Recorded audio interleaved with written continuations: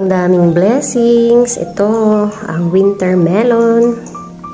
Tanim ng bianan ko sa kanilang garden. O, diba? Ang laki-laki nito. Hinati, hati-hati kami. Ayan, tanim din ng aking bianan. Lakatan ba ang tawag dito sa saging na to? Ang sarap. Ang laki niya, oh. Oh, ang laki. Masarap to kasi sariling tanim. At ang mga gulay, fresh na fresh.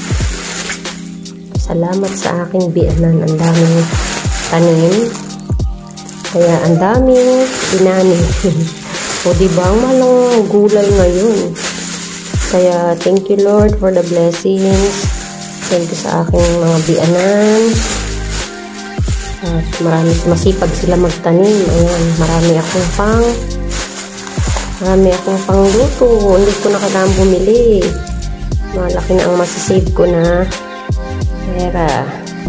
Dahil mahal ang mga bilihin na yun. O, di ba nakakatuwa? Kasi na to for one week.